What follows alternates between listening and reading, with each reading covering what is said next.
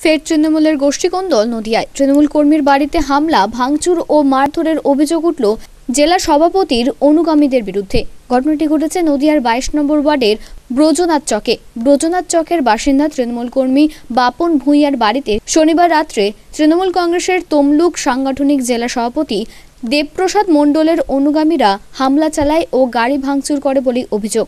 রবিবার তারা বাবা কঙ্কন ভূঁইয়া যখন বোনের বাড়ি থেকে ফিরছিলেন, তখন ওই অনুগামীরা তাকে ধরে মারধর করে। তাকে গুরুতর আহত অবস্থায় কলকাতায় ভর্তি করা হয়েছে। তার বাম চোখের অবস্থা খারাপ বলে জানান তার পরিবারের লোক। তারা সমস্ত বিষয়টি দলের ঊর্ধ্বতন কর্তৃপক্ষকে জানিয়েছেন বলে জানান। তাদের বক্তব্য দেবপ্রসাদ মণ্ডলের মদতেই এই ঘটনা ঘটিয়েছে তার অনুগামীরা।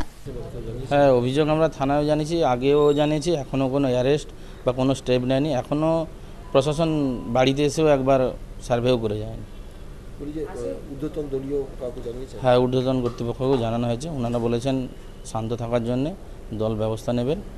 তো আমরা ভরসা আছে ওনাদের উপরে। তাই আমরা এখন অ্যাকচুয়ালি তৃণমূলের গোষ্ঠীতন্ত্র এতই বেড়ে যাচ্ছে এখানে তো তার জন্যে দলেরও ক্ষতি হচ্ছে। তো আমরা চাইব ঊর্ধ্বতন কর্তৃপক্ষকে যাতে দ্রুত ব্যবস্থা নেয়। তো তাহলে দলটা আরও বৃদ্ধি পাবে মানুষ শান্তিতে থাকতে পারবে। করেছিল তো লাইট তো অফ করে দিছি লাইট ওই এগারোটা একান্ন দিকে লাইটটা অফ করে দিছে অফ করে দিও তো আমি তো মানে শুয়েছিলি, তারপরে উঠে দেখি মানে সে হুড় হাড় করে ভাঙচুর করতেছে লাইট অফ করে দিছে ওরা তো মানে আর দেখতে পাইনি হ্যাঁ ওরা দেখতে পাইনি, ওরা ভেঙে ঢেঙে দিয়ে তারপরে চলে যায় তারপরে পাঁচ ছটা মোটর সাইকেল যাচ্ছে, গাড়ি যাচ্ছে, আর ওইদিকে সব লোকগুলা যাচ্ছে রাত্রে মানে আবার রাত্রে বাড়ি আসলি, এসে আমার মেয়েকে খবর দিলি, আর পাশের ঘরে আমি বলি, আমাদের দেখো কি ভাঙচুর করতেছে, আর আমার রাত্রে আমার দেওয়ার আসছে আমার নাতিকে দেখতে, উনিও ছিল, আর আমার স্বামী আর আমার ছেলে করে ডিউটি গেছে, রাত্রে কেউ ছিল না। তারপরে ওদেরকে ডেকে মানে আবার বাড়াইলি বাড়িয়ে দেখি না সব ভাঙচুর করতেছি আর কি। সব ভাঙচুর করে ওরা চলে? ওই গাড়ি ভাঙছে আর আমার দেওয়ারের গাড়ি ভাঙছে এই যে কাঁচ ভাঙছে আমার ছেলেরও গাড়ি একটু আঘাত লাগছে। হ্যাঁ ওই সব ওরা করছে আর কি। কারা করেছে মদন সামন্ত আর বাপি ঘড়ই আর ওই যে বিদা ধর্মান্না ছিল তারপরে আমাদের এরা মানে তৃণমূলের লোক। আমরাও তৃণমূলের লোক ওরাও তৃণমূলের লোক। কেন ওরা ওরা তো দুষ্কৃতীরা। ওরা তো আমাদের সাথে সব সময় একটা দুষ্কৃতীরা ইয়ে করে আর ওই দেবী মণ্ডলে যার বিরুদ্ধে এই অভিযোগ সেই সভাপতিকে বারবার ফোন করেও তিনি ফোন ধরেননি। তাই কোনো প্রতিক্রিয়া মেলেনি। এই ঘটনার যে তৃণমূলের আসলে গোষ্ঠীকন্দল তা নিয়ে কটাক্ষ করে বিজেপির তমলুক সাংগঠনিক জেলার সভাপতি তপন ব্যানার্জি।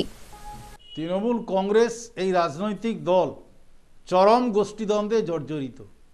হলদিয়া শিল্পনগরী, শিল্পাঞ্চল এলাকায় নিজেদের মধ্যে এত খেয়েই নিজেদের মধ্যে তারা নিজেরা মারপিট করছে ক্ষমতা দখল করার জন্য, কারখানার গেটে কে নেতৃত্ব দেবে, কে কতখানি টাকা তুলবে, কে কতখানি কাটমানি নেবে, তার প্রতিযোগিতা প্রতিযোগিতা চলছে। একদিকে তৃণমূল কংগ্রেসের জেলা প্রেসিডেন্ট, আরেকদিকে মাননীয় মন্ত্রী, দুজনের মধ্যে ভাগাভাগি কোন দিকে যাবে, সেই নিয়ে তাদের মধ্যে একটা প্রতিযোগিতা চলছে। এইভাবেই তৃণমূল কংগ্রেস দলটা হলদিয়ার বুকে শেষ হবে। যে কারণে হলদিয়ার মানুষ তৃণমূল কংগ্রেসকে প্রত্যাখ্যান করে ভারতীয় জনতা পার্টির প্রার্থী তাপসী মণ্ডলকে ওই এলাকার বিধায়ক করেছেন। আগামী দিনে তৃণমূল কংগ্রেসের যে আচরণ, তৃণমূল কংগ্রেসের যে আভ্যন্তরীণ দ্বন্দ্ব, যেভাবে মানুষ লক্ষ্য করছেন, আগামী পৌরসভা নির্বাচন এলাকায় তৃণমূল কংগ্রেসকে ধুয়ে সাফ করে দেবে। পূর্ব মেদিনীপুর থেকে সুদীপ্ত আগমনের রিপোর্ট আনন্দ বার্তা